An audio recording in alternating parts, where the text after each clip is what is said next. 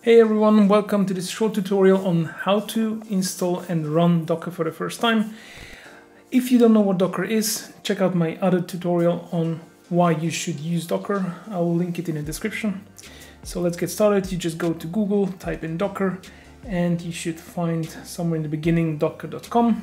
We go there, and on the main page you will find in the top side menu products where you go to Docker desktop and here you will find the installer for your operating system. As I'm on a Mac, I'll download the Mac one for the Apple chip. On Windows, you have here the links and for Linux as well. So download should be shortly finished. Now we just move the Docker icon over to the applications folder. It will just copy it over. And once this is done, we can start launching Docker quite a big file. Let's skip here a few seconds as well. All right, looks like it's about to finish. It's almost there. Perfect. Let's go to the applications now, find Docker, and let's start it for the first time. Yes, open. So here Docker Desktop needs privileged access. So we will have to give access here because it will run on the network. So we can close this, close that too. And now you can see the Docker is starting. You'll see it by this animation in the top. And here we have it. So Docker desktop is starting.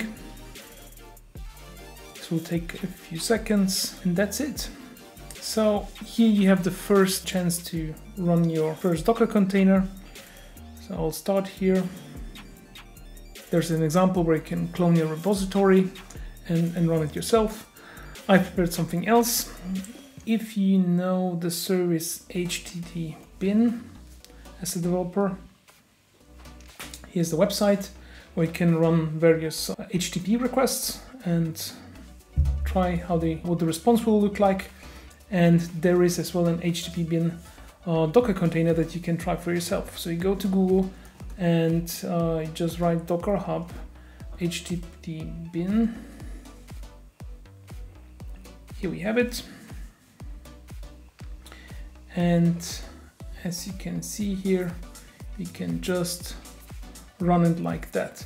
So first of all, let's see in our terminal uh, if Docker is running. Let's try Docker version first looks good. It shows you exactly which version is running.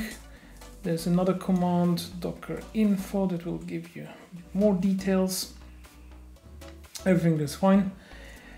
All right, then let's start our first Docker container. So we have the docker run command. We say on which port the Docker container should run.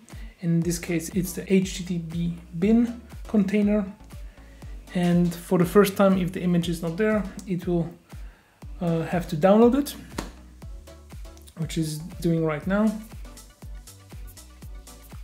Once this is done it will start the container. We can see already it is running internally on port 80 and as well externally on port 80 so if we go now to localhost we can see the docker container is running. This is the http bin service on our own machine. So we can run any request, let's say here, get, uh, try it out. We want a response with HTTP 201, execute, and there it is. We got the response code 201. And if we go back to our terminal, we can check out with docker ps what containers are running right now and we can see it exactly here with docker ps it's the http bin uh, http bin container running for a few seconds now on port 80 and this is the generated name.